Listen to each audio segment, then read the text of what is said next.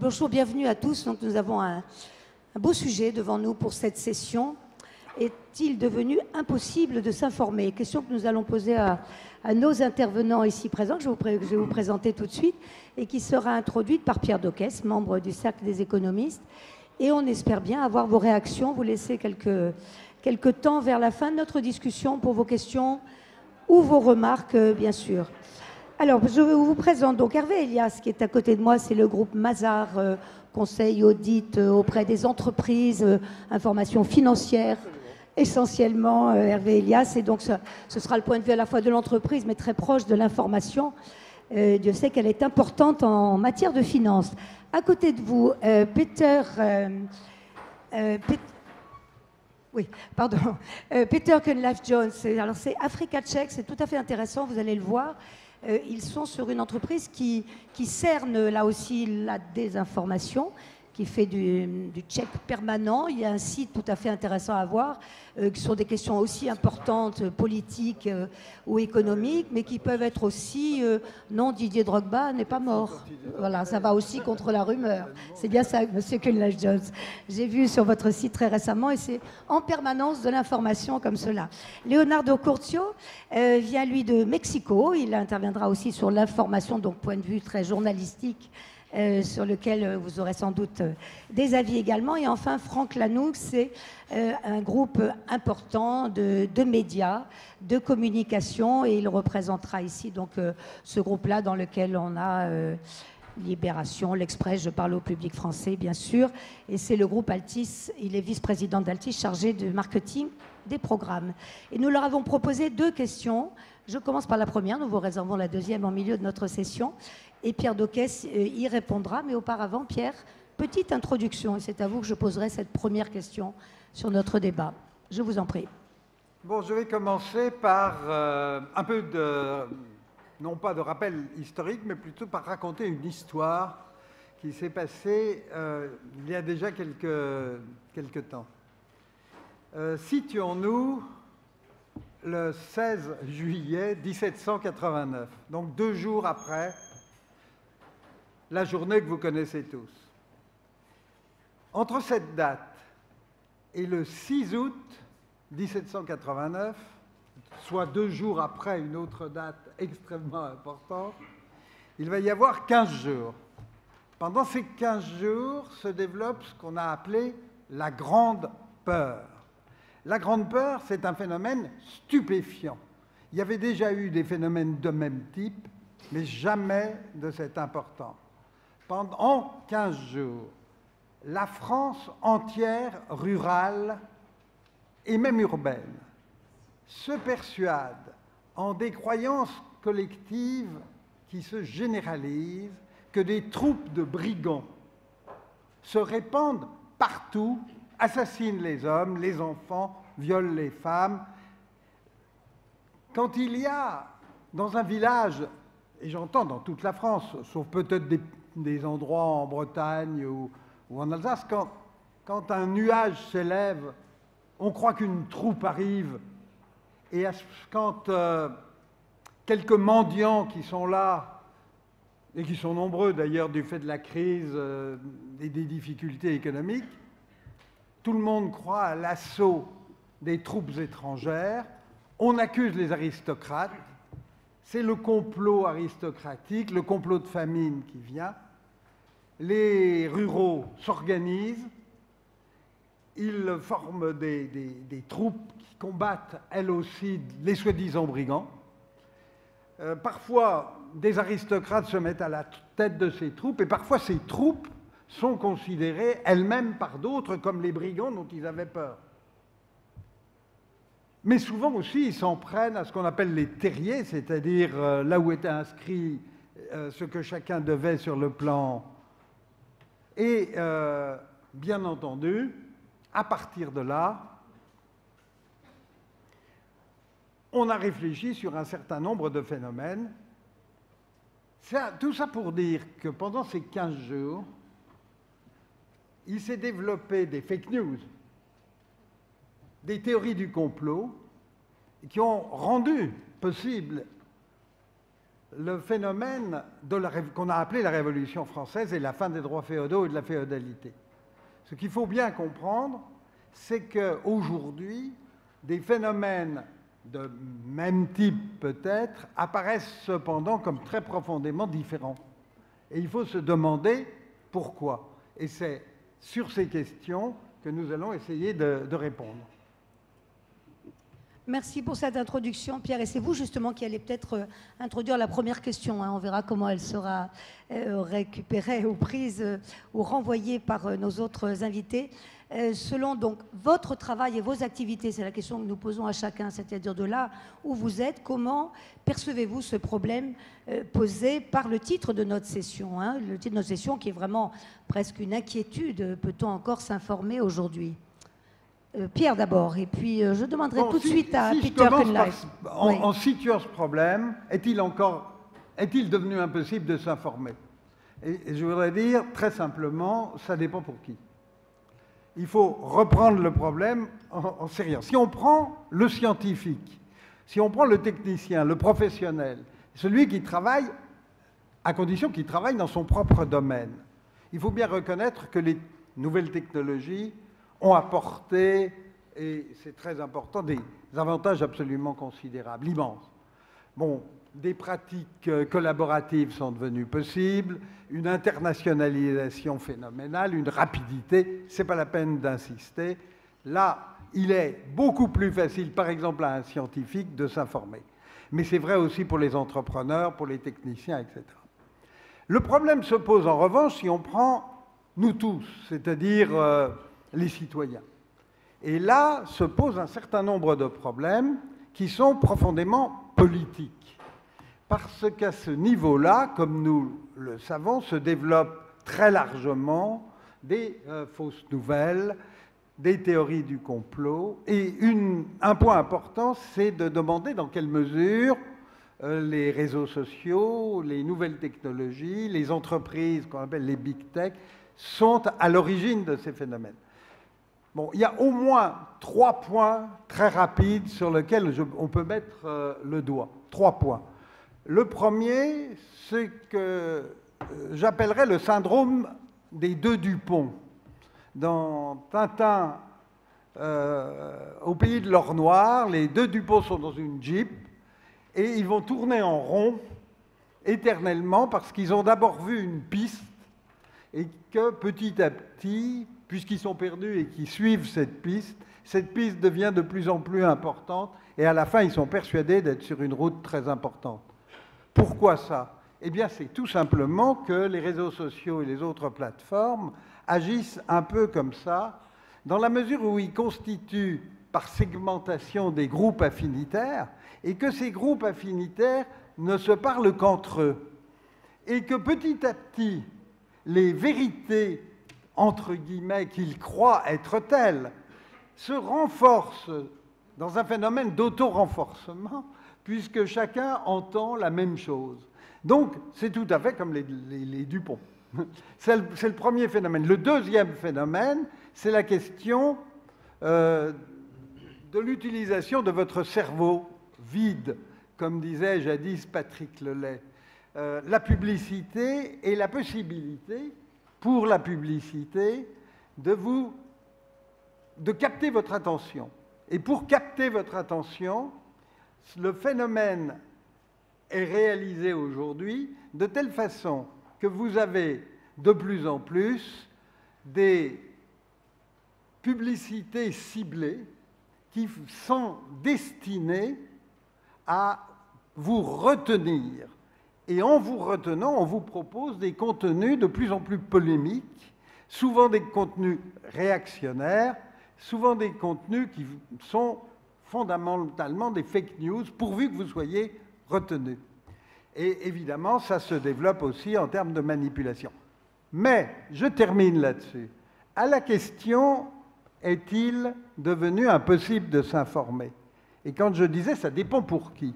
Effectivement, si on prend maintenant ceux qu'on peut appeler les maîtres des données, c'est-à-dire ces, fameux GAFA, ou tous ceux qui achètent leurs informations, ils ont réussi à s'informer sur nous tous infiniment mieux qu'auparavant. Il y a aujourd'hui une capacité pour ceux-là de s'informer en profondeur, de tout connaître sur tous. Et cela crée un phénomène nouveau, gravissime pour la démocratie. Et ce phénomène nouveau, c'est une asymétrie d'information comme on n'en a jamais rencontré entre ceux qui perdent leurs données ou qui acceptent de les abandonner euh, très facilement d'un clic, et ceux qui les récupèrent, qui les utilisent, qui les vendent. Et c'est là-dessus que se fait la grande différence et le risque pour la démocratie.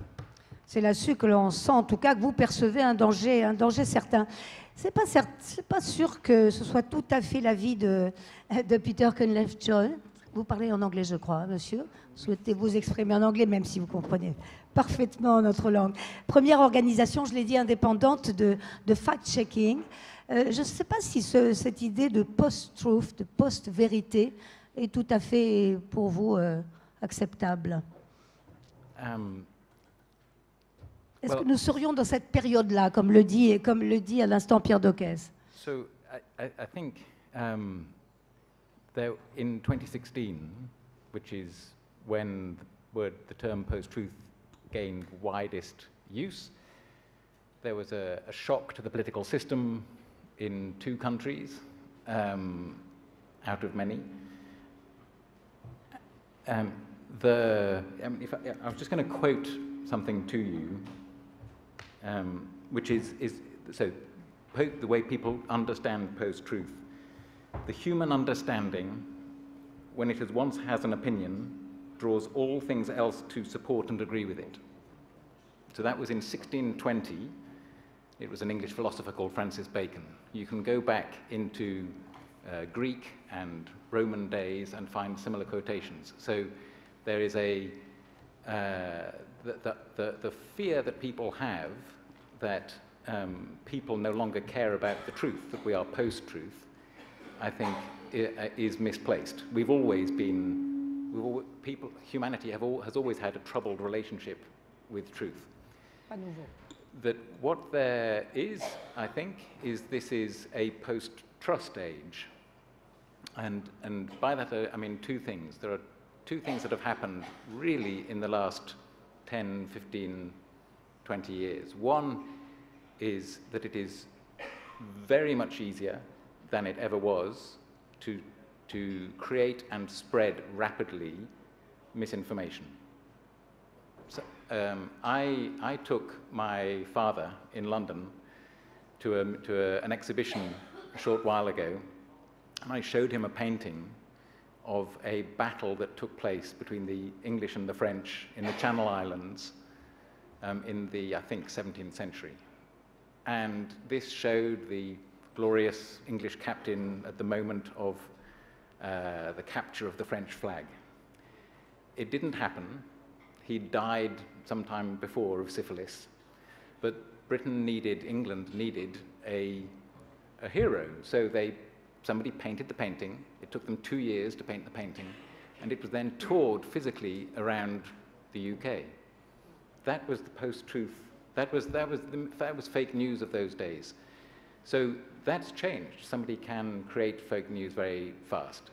And people are aware of that. And they're, they're, the way that social media platforms work has flattened out um, understandings of authority and and credibility, the signals of authority that there used to be um, in the media that we received are no longer, no longer there. So I think, if anything, this is a post-trust age, and there are solutions to that, um, but they, they revolve around um, how we understand how people understand their world. Oui. Puisque vous travaillez euh, beaucoup avec l'Afrique, hein, euh, Peter Conlife Jones, est-ce que vous voyez des différences entre justement ce qui se passe, mettons en Europe, pas seulement en France, et ce qui se passe dans les pays africains où peut-être le niveau d'information n'est pas le même, en tout cas n'est pas répandu partout, bien que les réseaux sociaux soient également euh, très actifs hein, aujourd'hui en, Afrique? Où sont les, différences en termes d'accès à l'information, sans parler de fausses informations. Uh, well, I mean, so there's tremendous differences, obviously, um, in terms of the so the access to information and the access to reliable information. Um, so, in many countries, there are freedom of information laws that are, in many countries, there aren't. Where there are, they are observed more um, in ignoring them than in following, following them. Um, and the data collection is very often poor. That is not universally the case. There is reliable, when we set up Africa Check uh, seven years ago, the big fear was that we would never be able to verify anything because the answer would always be we don't know. That's absolutely not the case. Um, so, but so it is a it is a significant challenge. The the other significant difference is how misinformation circulates. A lot Very of fast. a lot of the popula- but a lot of the population is not online. Um, people do have WhatsApp, people do have mobile phones, but a lot of misinformation passes in peer-to-peer networks, through religious communities, in, in, other ways. Merci beaucoup. On continue en petit tour de table sur cette première question et on va euh, vers euh, Leonardo Curcio. Pardon, je n'ai pas cité votre important journal, El Universal. Vous êtes euh, éditorialiste dans, dans ce journal, donc une grande expérience de l'information. Peut-être qu'on pourrait partir de ce point de vue-là, Leonardo Curcio, de, de ce- des changements intervenus. Est-ce que vous êtes plutôt, comme euh, Pierre Doquès, euh, inquiet de ceci ou, ou pas vraiment sur le post-truth? Ben, d'a- D'abord, je dois dire que je suis ravi d'être là. Et je, je voudrais, euh, enfin, j'ai- beaucoup aimé que Pierre ait, ait- ait cité. Approchez votre micro de vous, un petit peu, un petit peu plus près. Merci, Là, ça marche? Je pense. Je- Ça marche? C'est parfait. Bon, je suis ravi d'être là. Et je suis ravi aussi que euh, Pierre ait cité la, la grande peur. Je suis ressortissant d'un pays, vous savez, et on a un voisin. Et un voisin très puissant. Un grand voisin. Un, un pays, un pays dont le président dit plus ou moins, la- il récite la grande peur. Mais au lieu de, de voyous et de brigands et d'agents provocateurs, il y a nous, les Mexicains. Et alors il dit, et il a, il a, été, il a eu de la chance au niveau politique en racontant cette histoire. Sûrement, il ne connaît pas l'histoire de la France, mais il a, très bien adapté le, le- le style. Donc, il dit qu'il faut construire un mur parce qu'on on est en danger permanent pour eux. Il dit qu'on est si malin qu'on a construit des accords commerciaux pour tromper les Américains. Et on vole leurs travaux. Et, il dit ça tout le temps. Il dit qu'on est responsable de la violence qu'il y a son pays. On est responsable, les Mexicains, nous sommes responsables de, de la drogue, de la violence qu'il y a dans ces villes. Et par conséquent, il va établir une sorte de lutte universelle contre les Chinois et contre nous. Les Européens également ont leurs problèmes avec lui. De, de toute façon, ce qui est important, c'est que cette euh, narrative, ce récit est tout à fait faux, vicieux, a eu politiquement beaucoup, beaucoup de succès. Et je crois qu'on se retrouve euh, face au dilemme. Euh, Qu'est-ce qu'on fait les journalistes quand un politicien, un homme politique utilise ce genre d'outils et il, a de la chance, je veux dire, il, a du succès au niveau politique, euh, où on a la tentation de dire bah, il faut répéter ce qu'il fait. Après tout, il est un showman, c'est amusant, il a la cote, il a le rating, c'est bien, il, est très accepté. Et donc, on a la tentation de faire une sorte de info entertainment with Mr. President. Mais ça devient plus dangereux parce qu'on on est en face d'un dilemme très fort. On doit accepter ce qui est faux. On doit accepter une opinion, même si elle est non seulement anticonstitutionnelle, sinon carrément raciste, ouvertement raciste, et dire ben, c'est une opinion que n'importe quelle autre. Et si les journalistes, on doit accepter ça, je dis, et puis si on a le temps, je voudrais rediscuter ça, ces cocktails entre politique et fake news, et non seulement euh, donne une ambiance polluée, c'est un cocktail euh, franchement venimeux, et ça risque de, euh, enfin, de, de- de donner une voix impure à la démocratie américaine qui, devient, qui, puisse devenir une sorte de spectacle mal placé, un spectacle démodé où, les mens- où la- le mensonge occupe une place centrale dans la conversation nationale. Vous êtes donc en le laisse ouvert. Merci.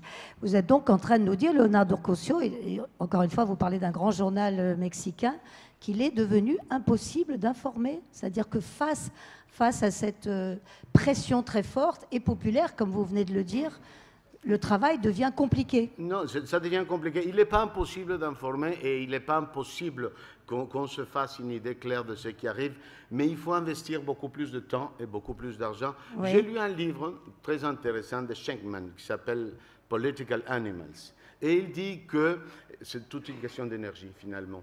On investit plus d'énergie quand on, on a une opinion contraire à la nôtre.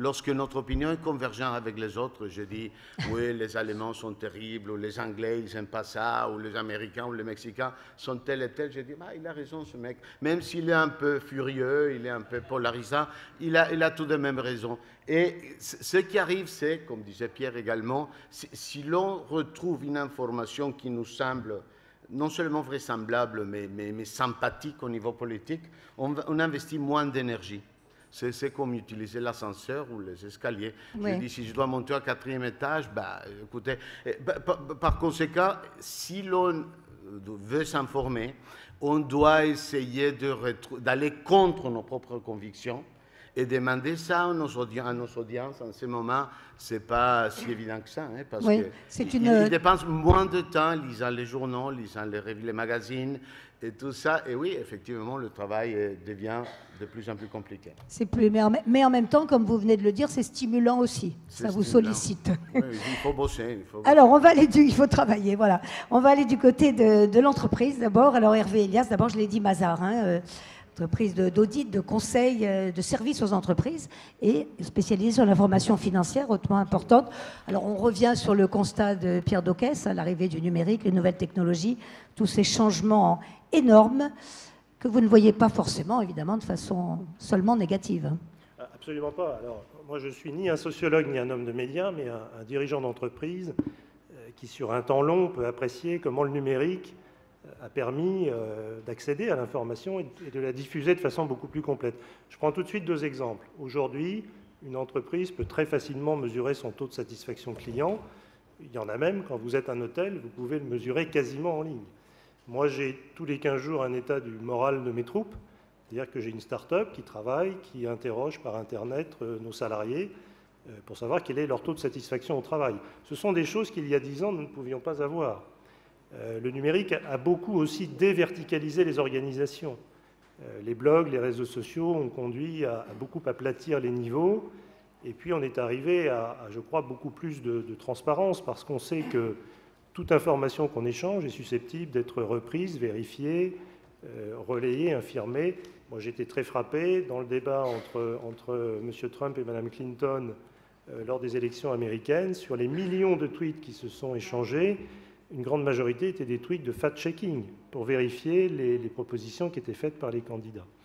Alors, euh, pour autant, je dirais, le, le monde n'est pas tout rose dans l'entreprise et on est confronté à ce qu'on appelle le, sujet d'infobésité, et qui pour moi euh, appelle trois, réflexions, et je les, évoquerai assez rapidement. La première, me semble-t-il, c'est que nous ne prenons plus le temps de l'analyse. Euh, finalement, l'information, pour moi, c'est un peu comme un aliment. Il y a un temps d'ingestion et il y a un temps de digestion. Aujourd'hui, on picore, on picore sur les, différents réseaux sociaux, sur les différents médias, et c'est très chronophage. Et, le temps qu'on va passer à, picorer ces différents éléments, on ne le passe plus à l'analyse. Il me semble que c'est une vraie réflexion qu'on a sur, euh, sur l'avenir. Le deuxième sujet, c'est évidemment le risque de, fake news. Il a grandi. Euh, plus le nombre d'émetteurs possibles d'informations sur Internet augmente, plus le risque de fake news augmente également. Mais moi, ce qui me frappe, c'est aujourd'hui l'effet et la réaction en chaîne d'une fake news et sa rapidité.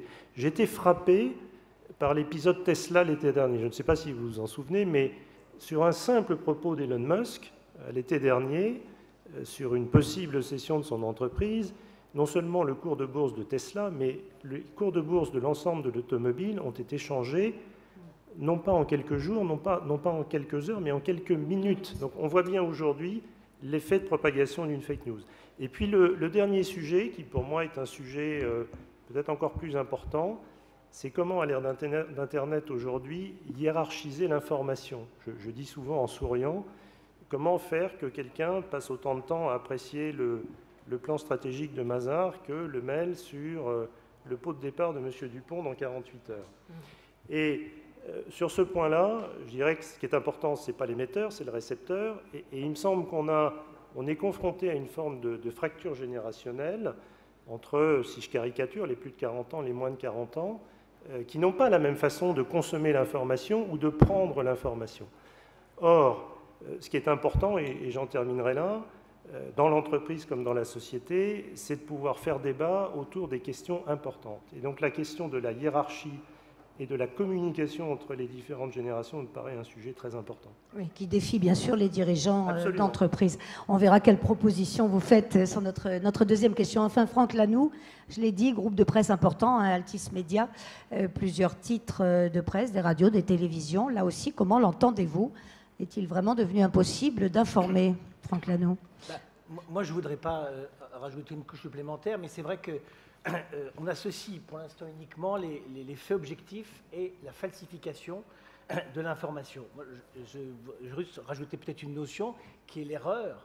Moi, je suis frappé par le nombre d'erreurs commises euh, par la presse. Quand vous lisez un article sur un sujet que vous connaissez par cœur, vous allez commencer par compter les erreurs, et il est même possible que le reste du journal vous tombe des mains parce que vous n'avez plus trop confiance dans, les sujets que vous ne connaissez pas et sur lesquels vous attendez beaucoup.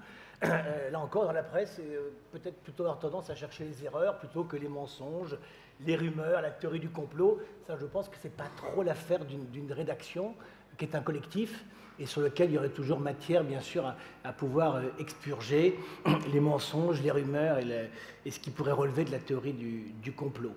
La fake news, pour moi, c'est vraiment un acte militant. C'est une volonté de nuire et donc là encore, ça ne doit pas rentrer bien sûr dans le champ d'action d'une rédaction. Ensuite, on parlait des, réseaux sociaux. Là encore, j'espère que tout le monde fait la différence aujourd'hui entre les réseaux sociaux et, les médias qui sont constitués autour de, autour rédactions. Et c'est vrai que les, réseaux sociaux, même parfois, ressemblent plutôt à des réseaux de cas sociaux où en effet va se répandre euh, toute une série de, mensonges, euh, d'ignominies, de, euh, de, vulgarité, d'agression. Et là, bien évidemment, ça ne relève pas, là encore, du travail d'une rédaction. Je pense que là-dessus, le temps va faire son travail. Je pense que le, discernement va progressivement, là encore, faire son travail. Il y a déjà des signes encourageants. Je ne sais pas si vous suivez l'étude que fait la Croix tous les ans sur, la façon dont les Français appréhendent la presse. Euh, aujourd'hui, les 18-24 ans se tournent de plus en plus vers les sites d'information qui sont précisément référencés par des, par des marques médias. Euh, c'était 11% en 2015, 24% l'an dernier, 31% cette année. Donc, quelque part, les marques, les médias, les rédactions sont toujours des, des références et elles deviennent de plus en plus dans cette masse d'informations telle qu'elle vous est, telle qu'elle vous est euh, servie.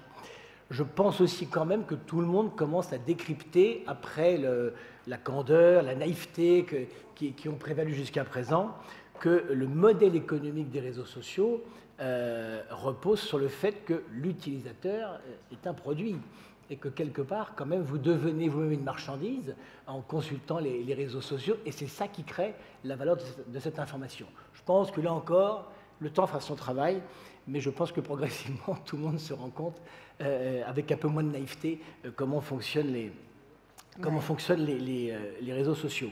Alors, peut-être plus, plus, plus, globalement, euh, on parle d'une méfiance envers les, envers les médias. Moi, spontanément, je considère que c'est plutôt euh, intéressant de se poser des questions par rapport aux médias. Les médias sont un contre-pouvoir. Le contre-pouvoir doit pouvoir accepter la critique. Et donc, en soi, moi, ça ne me choque pas plus que ça que qu'on remette en cause les médias.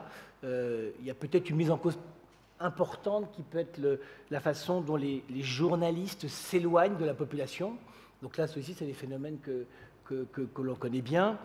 La course à l'audience, moi je, pense que la course à l'audience est un problème. Nous, on le vit avec BFM TV, où en effet, quatre chaînes d'information, la course à l'audience, elle, elle, est quasi permanente et elle crée des effets pervers dans la façon de traiter l'information. Et donc cette course à l'audience, je pense qu'elle n'est elle est pas bonne. La concurrence a du bon, bien sûr, on ne va pas s'en plaindre. a priori, trop de concurrence peut avoir un effet pervers. Et là encore, c'est sûrement un paradoxe, mais, mais l'audience a un effet pervers sur l'information. Alors justement, oui, pardon, allez-y. J'en avais quatre, mais euh, l'entre-soi culturel, je pense que, elle encore, euh, la géographie, je pense que tous les journalistes qui se retrouvent entre eux en permanence, euh, ça a forcément un effet pervers sur l'information. La fragilité des modèles économiques et politiques, tu en parlais, à l'instant avec Trump. Et, puis, je pense par contre qu'il y a une impression comme quoi les, médias seraient aux mains de, des mêmes financements, des mêmes types de financements.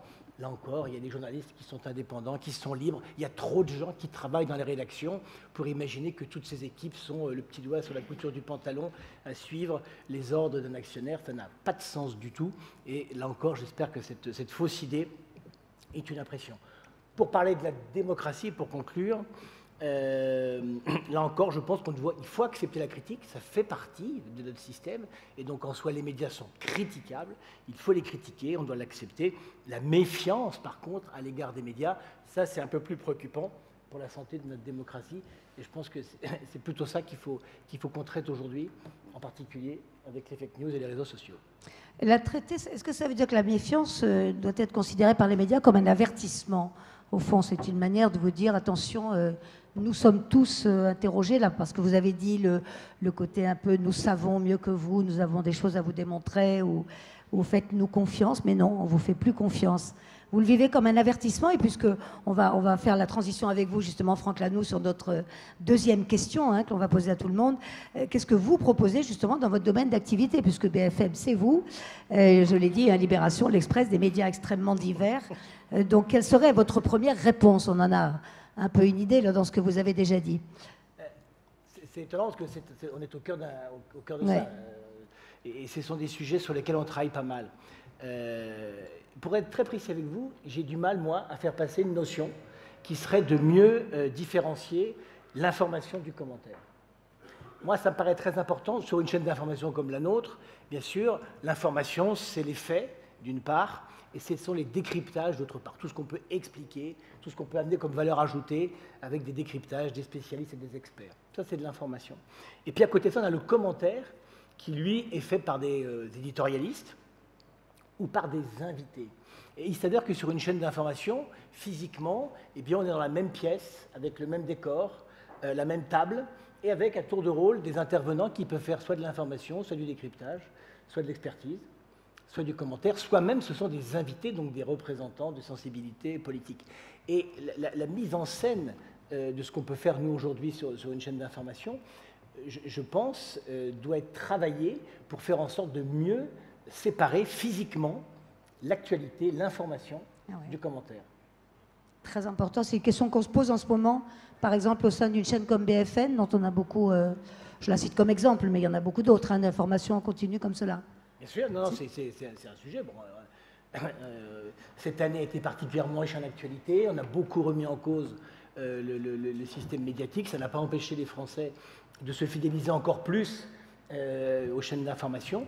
Donc, à l'évidence, toutes ces questions-là, en plus, on, est un petit peu sous, la, sous, une nouvelle façon de, de traiter l'actualité, la vitesse à laquelle elle va, on en parlait là encore à l'instant, la capacité, nous, techniquement, de produire de plus en plus facilement, de plus en plus d'images, cette impression qu'elle peut donner aussi à la population, eh bien, ça nous fait tous nous interroger en permanence. On vit des choses nouvelles avec une actualité qui change en permanence mm. et la faculté que nous avons à la traiter en direct avec des images. Et donc, bien évidemment, euh, l'expérimentation fait qu'elle s'enrichit d'expérience et que nous-mêmes, nous sommes amenés à évoluer dans le traitement de l'information.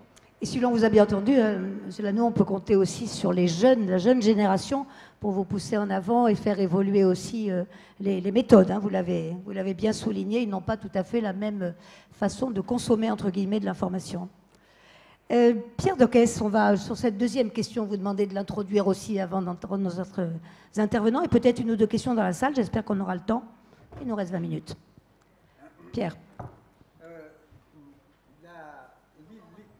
La deuxième question, c'est donc hein, qu'est-ce que vous proposez de là où vous êtes hein, Toujours du même point de vue. Là, c'est l'historien économiste qui nous parle.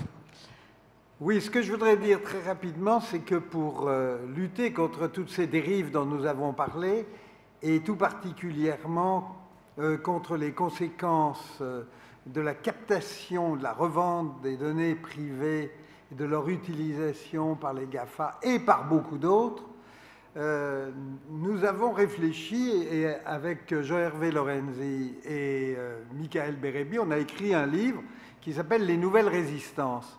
Et en un mot, nous sommes arrivés à la conclusion suivante. Premièrement, on ne peut pas véritablement compter sur l'autorégulation des firmes elles-mêmes. C'est souvent mis en avant euh, très, régulièrement par euh, Facebook ou d'autres, nous disent, bon, comptez sur nous, on va régler tout ça. Bien entendu, c'est impensable. Mais le deuxième, euh, deuxième point, c'est peut-on compter sur les États, sur les lois, sur les réglementations, c'est-à-dire aussi bien sur ce dont on parle beaucoup, l'antitrust, la décomposition. Bon, Bien entendu, on ne peut pas vivre sans loi, rien n'est plus important que les lois. Mais elles sont, elles aussi, dangereuses. Et la prochaine loi qui est en train d'être discutée, par exemple en France, sur, euh, euh, sur la haine qui se déverserait sur les qui se déverse sur les réseaux sociaux, est une loi qui est très dangereuse pour la liberté de la presse.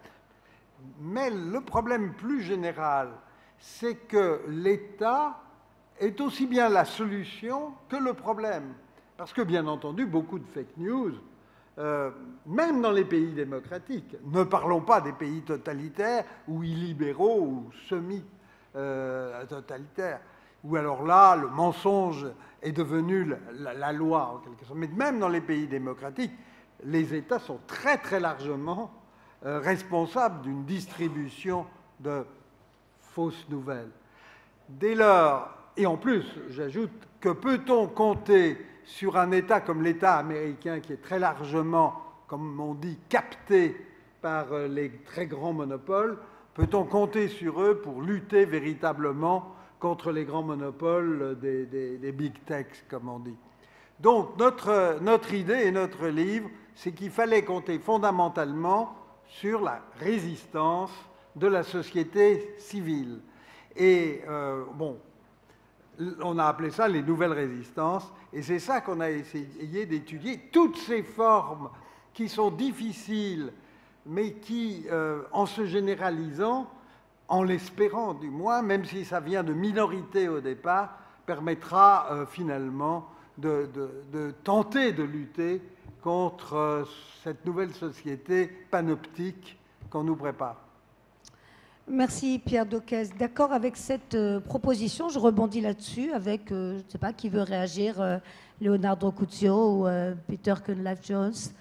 Oui, Leonardo? Oui, eh ben, je crois que le premier devoir, c'est de reconnaître qu'on est une on a, on face, on a face une ambiance très compliquée. Il faut restaurer la confiance de nos audiences. Tu parlais enfin, de, de la méfiance. Et il faut reconnaître que la révolte anti-establishment que l'on a vue la dernière dizaine d'années un peu partout et nous a frappés. Enfin, nous, on fait partie de l'establishment. C'est pourquoi Monsieur le Président des États-Unis appelle les médias de son pays les ennemis du peuple. Il dit nous, on va restaurer la, souveraineté du peuple et vous êtes les ennemis. Enfin, nous sommes les ennemis. Donc, il faut restaurer la confiance. Il faut accepter que l'on a perdu euh, enfin, des, audiences, euh, il faut reconnaître qu'il faut établir un nouveau dispositif de communication avec les audiences plus jeunes. Parce qu'on constate, je ne sais pas si en France c'est pareil, mais on a des audiences intéressées mais peu focalisées. Ils disent, oui, je sais que la France, l'Allemagne, un peu l'Espagne se sont partagés les postes européens, mais je ne comprends pas très bien pourquoi monsieur euh, l'Espagnol va être le chargé d'affaires étrangères. Enfin, je comprends ce qui arrive, mais les nuances, je suis incapable de les suivre. Et donc, il faut essayer de trouver des canaux, d'établir des liens de communication avec les audiences plus jeunes, et puis rappeler, et permettez-moi de souligner ce point, de, rappeler notre devoir, c'est un devoir de civilisation, de dire que la vérité, après tout, ça dérange, bien sûr. Il y a des gens qui ne veulent pas écouter la vérité, mais c'est le centre d'une démocratie en pleine forme. On peut avoir une démocratie en pure, comme disaient les classiques, Si je suis capable de convaincre les 40% d'une population d'un mensonge et d'être élu démocratiquement, je suis effectivement un président euh, démocratique au point de vue de, procéder. Mais si l'on déforme à ce point la démocratie, et on, risque, c'est un risque de civilisation. Finalement, je dis que nous, les journalistes, pas individuellement, mais en tant que métier, en tant que groupe, on a la responsabilité de, rappeler à nos audiences que malgré tout, la vérité est tout de même une valeur fondamentale de la civilisation occidentale. Et que parfois elle se cache, euh, elle se cache bien parfois. Il faut aller la chercher. C'est ça. Peter Conlife-Jones ou Hervé Elias, Peter? Um, Sur cette, euh, ces réponses que l'on peut apporter de votre point de vue. So, um, I mean, I think the first thing to understand or, is there isn't a single problem of misinformation. There are many problems that affect people differently depending on uh, the type of misinformation and the position they have in society, policymakers and individuals.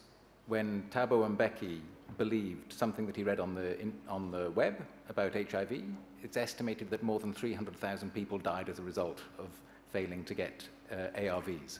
So who sees the misinformation is crucial to how you tackle the problem it causes. Um, knowing, uh, I mean, so there are many complexities to that, but how you respond, I think that there are four levels of action. One is to scale up the response of credible um, fact-checking organizations. That includes traditional media, it includes new organizations. The positive news is that in the last five years, the number of independent fact-checking organizations has gone from around 15 to 200 through an organization called the International Fact-Checking Network um, in, in uh, I think it's about 150 countries. Uh, it's probably less than that. Uh, to improve access to and the presentation of statistics and of reliable sources of information. That's very, that's, there's work being done on that by statistics agencies. They can't simply pump out statistics and expect people to believe them um, because they don't. And so statistics agencies, I'm talking to the UK Statistics Authority in September about how that needs to be done. Schools need to be part of this. Media literacy, news literacy, how people can determine the difference between good and reliable, good and unreliable sources of information, and then working with community organizations. So there are organizations that are trying to do these things because very often people believe information much more if it comes from within their community organization. That might be their church, their mosque, um, their peer network, their football club. It, but so there are, it is a social problem. There are social structures that can respond. Thank you, Peter. Hervé Elias, sur, euh, pour Mazar, donc on revient dans le monde de l'entreprise sur les, solutions, les propositions possibles. Oui, j'avais envie de, partager avec vous trois, pistes pour l'avenir. La première, c'est celle de renforcer le, le, rôle et la responsabilité de ce que j'appelle les tiers de confiance. Alors c'est quoi un tiers de confiance? Nous sommes un tiers de confiance. C'est-à-dire que dans l'un des métiers que nous exerçons, dans nos 90 pays, nous validons chaque jour des milliers, des millions d'informations financières pour que vous, Dominique, que vous tous dans la salle, euh, vous puissiez investir euh, en toute sécurité. Je crois qu'il faut renforcer, développer ces rôles de tiers de conscience. Les journalistes, les plateformes doivent aussi soit devenir, soit recourir à des tiers de confiance. Le, deuxième point que je voulais évoquer, c'est un point de la, formation. Je crois que euh, dans le cursus de la formation des jeunes, des plus jeunes, il faut qu'on leur apprenne à s'informer. Où est l'information, comment elle se valide, comment elle se check, et euh, dans la formation aussi euh, des journalistes, tout ce qui va toucher à l'éthique, à la compliance, à la vérification des informations me paraît extrêmement important parce que de plus en plus on va se, tourner vers le journaliste qui va devenir le, tiers de confiance. Et puis le, le, troisième sujet qui me paraît absolument fondamental, c'est la responsabilité des, plateformes d'information, des plateformes de partage d'informations. Les Google, les Twitter, les, Facebook, je crois que vont avoir une responsabilité euh, grandissante. Pourra-t-on continuer à avoir sur, le net euh, des blogs euh, anonymes, des commentaires anonymes? Est-ce que les pouvoirs publics vont continuer à tolérer ce qu'on peut voir aujourd'hui comme échange euh, autour des plateformes? Et donc, le vrai sujet, c'est comment ils vont renforcer leur éthique, leur compliance, quel investissement ils vont pouvoir faire à un moment où fondamentalement, on sait que le business model de ces plateformes, c'est quand même d'acquérir de la donnée et d'acquérir des clients. Donc il y a une forme de conflit qui n'est pas facile à gérer, mais qui est tout à fait euh, essentielle. Merci beaucoup. J'avais envie d'ajouter à ce que vous venez de dire. Euh, vous avez peut-être vu sur nos programmes que Claire Wardle était également prévue à cette table ronde. Elle n'a pas pu venir. C'est dommage parce qu'elle est euh, experte sur les réseaux sociaux et elle a fait partie des. Elle a cofondé un site de vérification comme ça de l'information. Et ce que vient de dire à l'instant Hervé Elias me fait rebondir un peu sur ce qu'elle avait prévu de nous dire. On avait reçu un petit, un petit abstract. Elle dit que ce qui est très important, c'est de construire des sociétés très résilientes. Et vous parliez de formation et qu'il faut également enseigner, et, je la cite, et former les journalistes, la société civile, nous tous, et les chercheurs, cher Pierre Doquès, à mieux, à mieux euh, serrer l'information, la diffuser, la comprendre, la débusquer, comme vient de dire euh, Leonardo Curcio. Euh, elle pense également, et ça c'est à l'attention de Franck Lanoux, que d'avoir un petit peu trop de lumière n'est pas forcément le meilleur, je la cite, désinfectant. Qu'en pensez-vous, Franck Lano Oui, non, c'est sympathique. Moi, je, parle à sa place, mais je la cite. Hein, je, pensais qu'en venant à Aix, on prenait à la fois de la hauteur et qu'on se rapprochait du, de, la réalité. Euh, je vois que n'est pas intéressant se poursuivre. Non, il y a, une première chose peut-être, ce serait quand même de, dénoncer la première des fake news, euh, qui est que les journalistes ne sont pas indépendants et cèdent au pouvoir politique. Nous-mêmes, dans nos métiers, on n'a pas le droit de parler de population en termes généraux. Donc il n'y a aucune raison de globaliser les journalistes dans un seul paquet, comme s'ils étaient tous faits du même, euh, du même bois. Euh, je crois que première chose, il faut faire confiance euh, à ce collectif, à ces rédactions. Il y en a plusieurs. Il y a un nombre innombrable de radios, de télévisions, de magazines, de journaux. On peut faire confiance aux journalistes, je ne vais pas dire globalement, mais dans leur diversité. moi, ça me paraît, ça me paraît peut-être une des choses importantes à dire et à soutenir encore, encore aujourd'hui. Rappelez, par exemple que c'est un métier, c'est ça, Franck Lano? Oui, à l'évidence. C'est un métier, le journalisme, voilà. C'est bon de le dire. Euh, je pense que dans les, euh, dans les fake news, ce n'est pas tellement leur fabrication qui pose problème, parce que ça, on ne pourra jamais y faire grand-chose, mais c'est dans la diffusion. Et là, chacun a sa part de responsabilité. Euh, je pense que même la solution dans la fake news, va venir certainement d'un savant mélange euh, entre la législation, tu en parlais, euh, les bonnes pratiques, on en parlait aussi, et la technologie qui doit quand même aussi résoudre une bonne partie de ces, problèmes-là. Euh, je crois aussi, puisqu'on parlait beaucoup du métier des journalistes, qu'il faut les aider à se reconstruire une relation avec les populations. Je crois que les journalistes se sont déconnectés et c'est notre devoir demain de, faire en sorte de reconstruire cette connexion avec, euh, avec la population pour parler des vrais problèmes et pas uniquement des, phénomènes euh, passagers. Merci Franck Lano. Avez-vous des questions, des petits commentaires dans la salle pour les dernières minutes de ce débat pour l'un ou l'autre de nos intervenants? Si vous le souhaitez, on a des micros à votre attention. Je vois une première question, c'est ici au milieu. Merci beaucoup, premier tiers là.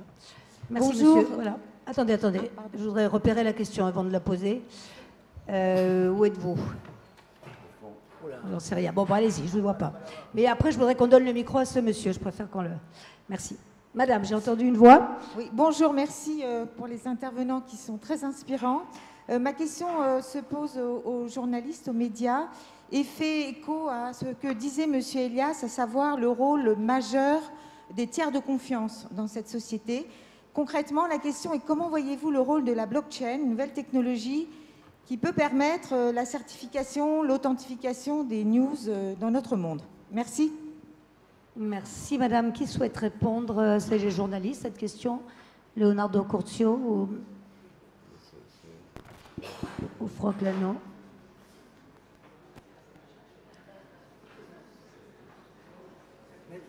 Quoi sur cette question Moi, je ne suis pas un homme de médias, donc je ne devrais, devrais, pas répondre à la question, mais il est vrai que, euh, d'abord, il faut bien voir qu'on n'en est qu'au début de, cette révolution numérique sur le volume d'informations disponibles.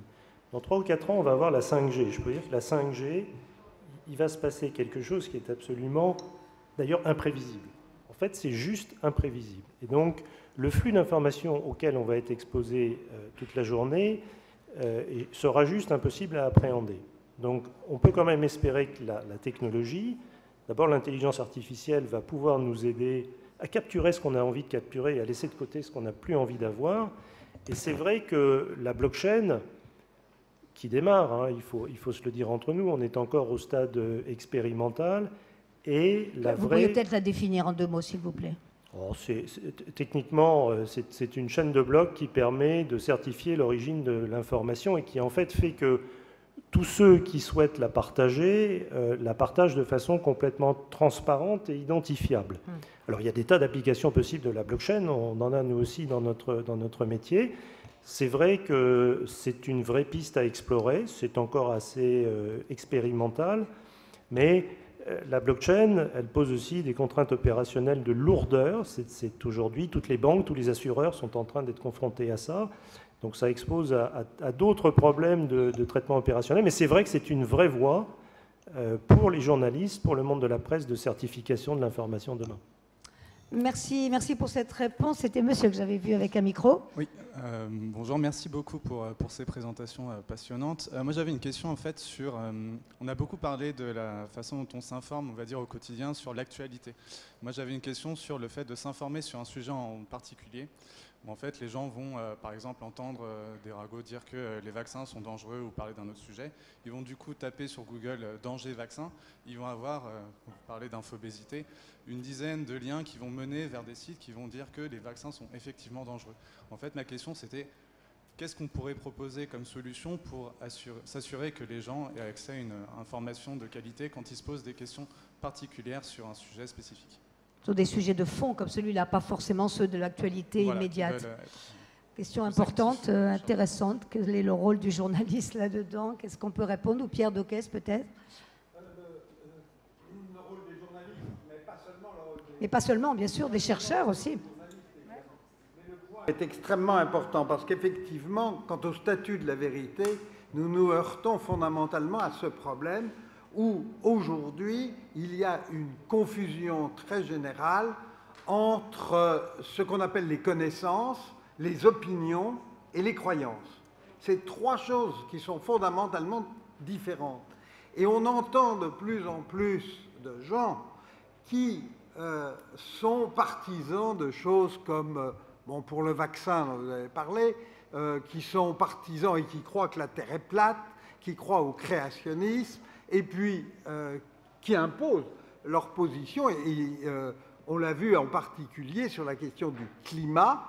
Bon, ça s'arrange petit à petit parce qu'on est en démocratie, mais euh, le nombre de ceux qui ont soutenu contre l'ensemble de la collectivité des savants qui n'avaient pas de réchauffement climatique du fait de, de l'homme était considérable et reste tout à fait considérable. Mais le problème fondamental, c'est que dès lors, ils nous disent c'est mon opinion. Alors, c'est ça. C'est mon, opinion. euh, veuillez la respecter. C'est ma vérité. On arrive dans, un- dans une situation de relativisme généralisé et qui est extrêmement dangereux. Euh, bon, à partir de là, qu'est-ce qu'on peut faire? Mais c'est ici où on pense qu'on ne peut pas espérer grand-chose de l'intervention euh, des États eux-mêmes sur une question aussi fondamentale. On ne peut pas espérer grand-chose de la loi ou de nouvelles lois qui risquent d'être aussi euh, oppressives, euh, alors que ce n'est pas voulu. On ne peut pas espérer grand-chose de ceux qui sont à la tête des, informations, des, des GAFAM ou d'autres.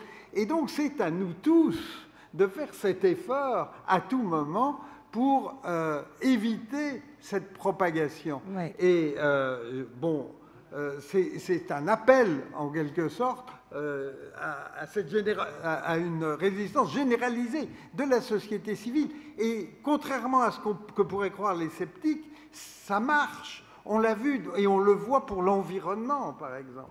On, on voit les progrès qui ont été faits grâce à des résistances ponctuelles qui sont venues petit à petit, qui se coagulent, etc. Et c'est euh, dans ces directions qu'on peut espérer aller. On ne voit pas d'autre solution. Autrement, vers, on, on- on va, comme je le disais tout à l'heure, vers ces sociétés panoptiques où tout le monde sera sous l'œil du maître, ou pire encore, où tout le monde sera sous le regard de tout le monde. Une société de transparence généralisée. Qui vous inquiète, manifestement. Merci Pierre Doquet. C'était, on va pas tout à fait conclure. Leonardo Cordio, un tout dernier mot, mais on doit Mais je- être je vigilant voudrais- sur le temps. Je voudrais tout juste souligner que c'est très important ce que vous dites. Enfin, j'ai parlé du discours antipolitique, mais là on parle du discours anti-scientifique.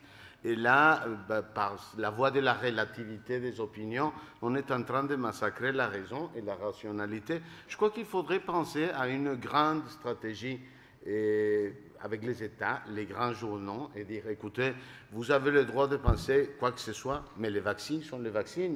Vous avez le droit de dire quoi que ce soit, mais le racisme est anticonstitutionnel et vous êtes en train de détruire la, la civilisation, la, la façon de co- la- la- la façon de cohabiter. Donc je ne peux pas vous dire un- une solution précise, mais il faut voir ce genre de choses comme une menace directe à la forme dont on a construit notre société. Allez, pas tout à fait. 17h20. Dernier mot, Hervé Elias. ou euh, Moi, je me reconnais beaucoup dans la question que, que vous avez posée, parce que ça m'arrive souvent de, de taper sur Google. Je crois que le vrai sujet, c'est pourquoi les dix premiers articles ressortent. Et, et en fonction de quoi? Alors moi, vrai. j'ai- j'ai pas les critères. Euh, ce que je peux vous dire, c'est que en, en tant que dirigeant de Mazar, quand sur un sujet, je veux ressortir dans les 10, je sais faire. Merci Peter. Allez, tout dernier mot. Je ne veux pas vous brider. On arrête. Donc, juste une, euh, juste une, une réponse très brève, c'est que, donc, il y a deux ans, il y a deux ans, Google a commencé à utiliser un outil qui s'appelle Claim Review. Donc, il y a maintenant des centaines de- d'organisations, dans le mien, qui attachent euh, des... euh, Les euh, items, ouais. Pardon? Des- des- ce, ce sont des, des, euh, étiquettes en fait pour dire voilà, voilà une information et voilà la réponse d'une société de, de fact-checking. Il faut que ça, ça soit utilisé beaucoup, beaucoup plus pour euh, assister Google. Oui. euh, Généraliser à- le phénomène. généraliser Bien sûr. pour vérifier entre eux le vrai et le faux. Eh bien, merci à tous pour vos propositions, vos réponses. Merci encore dans la salle.